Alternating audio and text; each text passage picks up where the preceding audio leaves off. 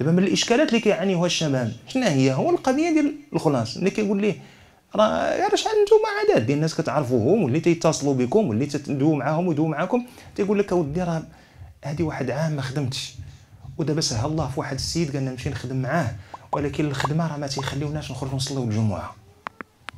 شنو هو اللي كيخلي هذا الإنسان بعدا تردد باش يطرح السؤال؟ واحد آخر تربى على التوحيد الحقيقي هذه مسألة لا يناقشها.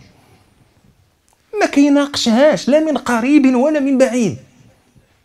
ما تقولش يقول لك شوف يقول لك تضرب السمع نرد إذا نودي للصلاة من يوم الجمعة فاسعوا إلى ذكر الله وذروا البيع. سالينا أمر ونهي. فاسعوا أمر ذروا البيع نهي. وما كاين حتى شي حاجة التي تصرف هذا النهي إلى الكراهة. كراهة التنزيه. اذا يبقى على أصله هو التحريم. اذا البيع والشراء كونطرا عقد. حتى أن ياك سيدنا المالكية كيقول لك حتى من عقد الزواج في وقت الجمعة عاود من الأول. حتى جاك الزواج حتى قال المدن الوقفه الله أكبر. اشنو زعما باغي تهرب من الكسك بالغدا ولا انت ذاك العدو ما بان لك مشيتي عنده عاد كتكون الدنيا خاويه شحال والله شحال واحد كيقولها؟ تيقول لك مسكين في الحقيقة هذيك وقيته الجمعة هي اللي كتكون الدنيا خاويه يمشي لواحد يخطف يجيب تقضية. شريف غتجيب السحت غتدخلوا للدار. هنا تقضيه اختلف أهل العلم في من لا تجب الجمعة في حقهم كالنساء مثلا.